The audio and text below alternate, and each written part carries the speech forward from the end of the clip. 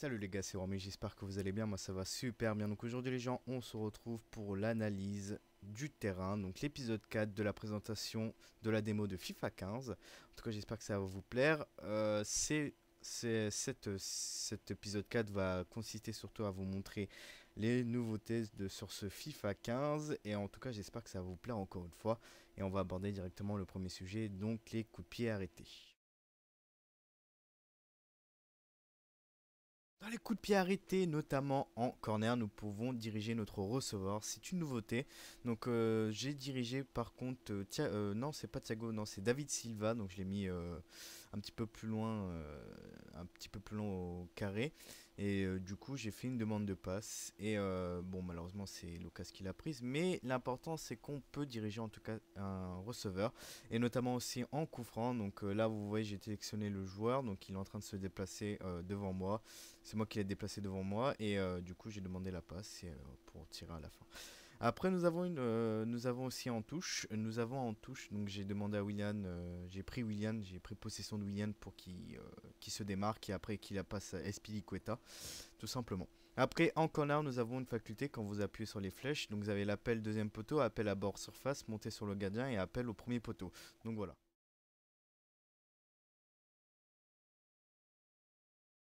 Pour le work rate de l'équipe, nous avons deux nouvelles, deux nouveaux work rates. Donc un, l'attaque en folie, notamment je vous montre là ici, je l'ai mis et comment ça se passe. Donc toute l'équipe monte avec euh, bah, les attaquants. Bah, pour une contre-attaque, ça pourrait être pas mal.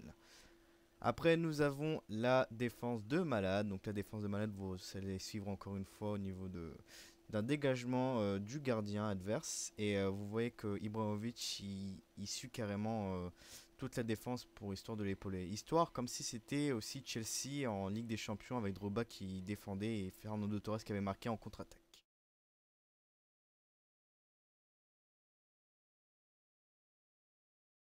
Nous passons aux gardiens. Donc les gardiens, c'est un sujet que tout le monde attendait le plus, euh, qui soit vraiment meilleur qu'avant.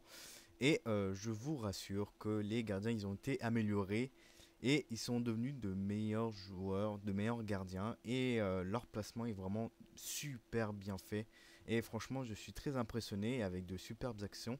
Et même en duel, des fois, ils peuvent, euh, comme sur cette action-là, euh, ils peuvent aussi se démerder comme ils le peuvent. Et, franchement, je suis très très très étonné de, de ça. Et généralement, quand j'ai fait des matchs en général, plutôt quand j'ai fait les matchs euh, de la démo, euh, généralement c'est toujours le gardien qui est toujours euh, qui a toujours une meilleure note. Et bon, ça peut être agaçant pour certains, et, mais à la fois ça peut être rassurant aussi pour, pour d'autres. En tout cas, pour moi, ça reste très rassurant et je suis très content qu'ils qu'ils ont fait ça. Car vous voyez, bah, depuis tout à l'heure que ça défile, mais il y a eu des, des superbes arrêts et franchement, je suis très content que ça, ça fasse comme ça. Au moins, les bugs sera peut-être euh, fini, enfin en tout cas j'espère, parce que là nous sommes qu'en solo, donc on peut pas déterminer directement si vraiment les gardiens vont être bons en ligne ou pas, je ne sais pas, donc après il faudra voir, bien entendu. Mais en tout cas c'est une très belle surprise et je suis très content de cette nouvelle.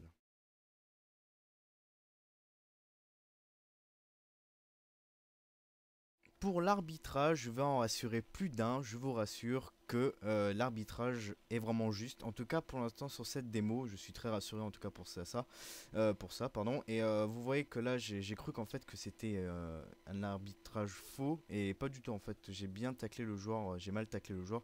Et puis voilà. en tout cas, je suis très rassuré par cela.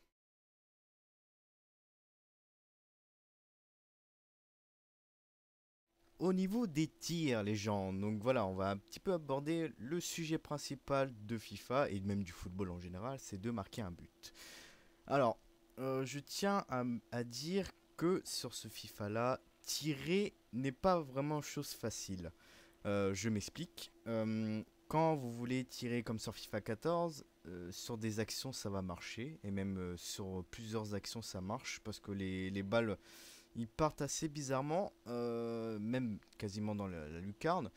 Et euh, sur ce FIFA là, c'est quasiment très très très différent. Euh, j'ai l'impression que les que les comment s'appelle les tirs sont extrêmement longs, lents pardon. Et regardez-moi ce but magnifique d'ailleurs.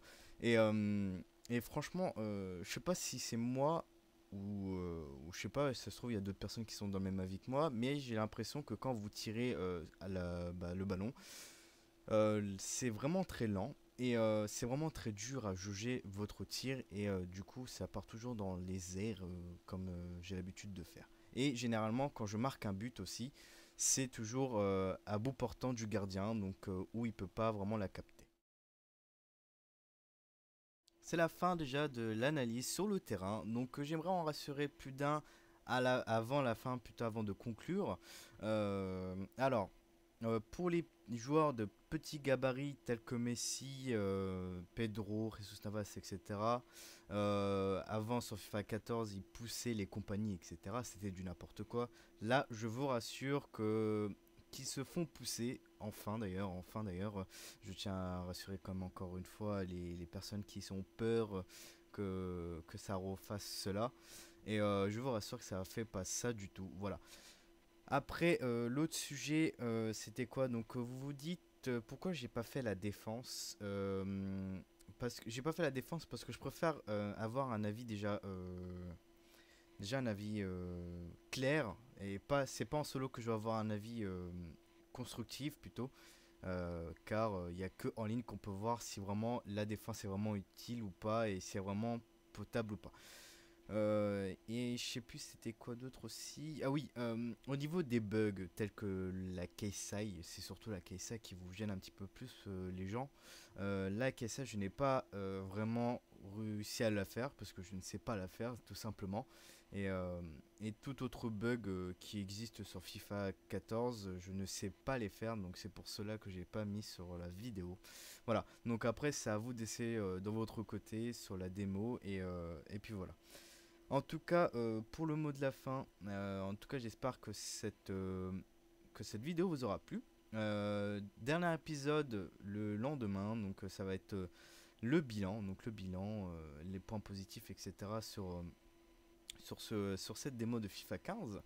Euh, en tout cas, j'espère que ça vous aura plu. Euh, n'hésitez pas à mettre un j'aime, de vous abonner à ma chaîne si ce n'est pas fait. Partagez bien sûr cette vidéo si bien sûr il y a des personnes que vous connaissez et qui veulent découvrir un petit peu cette démo et qui veulent aussi acheter FIFA 15 parce que c'est euh, une bonne appréciation quand même cette, ces petites vidéos. Et puis voilà. En tout cas, dites-moi dans les commentaires ce que vous avez pensé de cette démo, car euh, oui, je pense que vous êtes plusieurs à avoir déjà téléchargé cette démo, que ce soit sur PS3, Xbox, et euh, enfin sur le PSN et surtout sur Microsoft hein, euh, et sur PC. dites-moi dans les commentaires ce que vous en avez pensé. En tout cas, moi, je vous dirai ça demain au niveau du bilan, ce que j'en ai pensé. Voilà.